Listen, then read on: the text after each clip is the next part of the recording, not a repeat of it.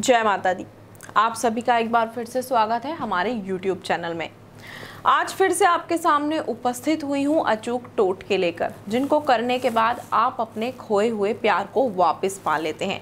लेकिन आज आपको टोट का बताने से पहले थोड़ा सा सतर्क करना चाहूँगी, क्योंकि आजकल मार्केट में बहुत से ऐसे लोग आ गए हैं जो लोगों को उनके मार्ग से भटकाने का कार्य कर रहे हैं।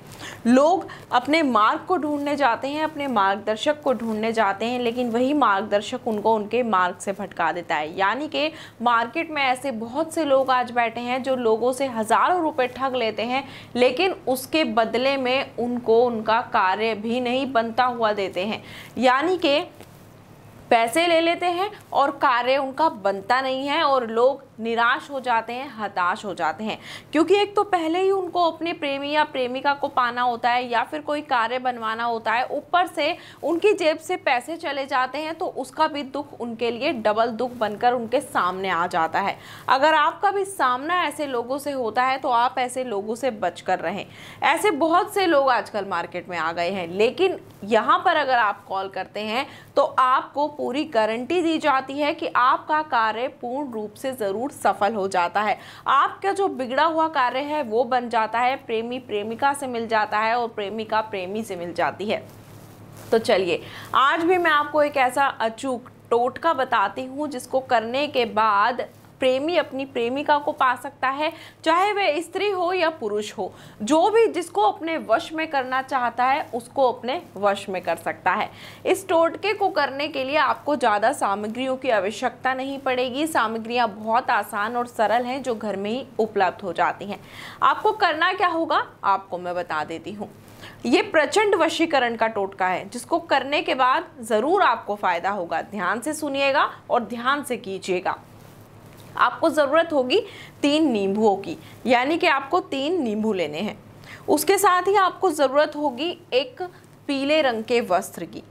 साथ ही आपको आवश्यकता होगी सिंदूर की और मिश्री की, जो कि आपको बहुत आसानी से मिल जाएगी।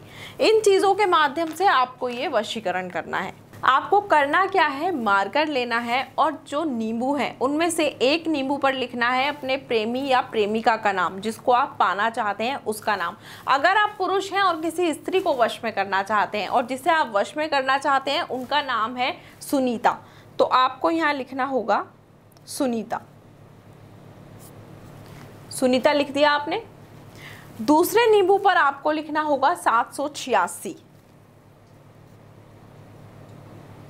सात सौ छियासी लिख दिया आपने। तीसरे नींबू पर आपको लिखना होगा खुद अपना नाम। रवि। जैसे कि आपका नाम रवि है तो आपने रवि लिख दिया।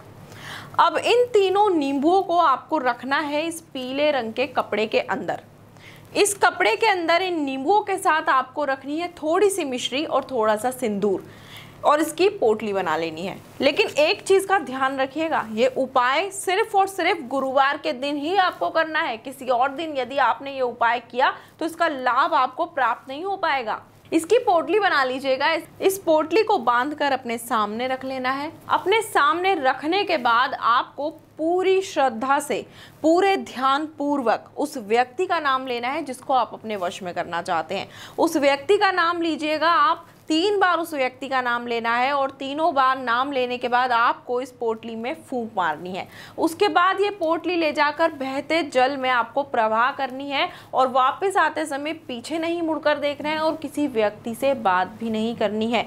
ये जो टोटका है, प्रचंड टोटका है, ये ज़रूर काम आएगा। आप इस टोटके को कीजिएगा और अपने प्यार को अपने वश में कर लीजिएगा। और जानकारियाँ लेने के लिए या फिर गुरु माता जी से बात करने के लिए जो नंबर आपको दिखाया जा रहा है, इस नंबर पर आप संपर्क कर सकते हैं। गुरु माता जी से बात कर सकते हैं। जय माता दी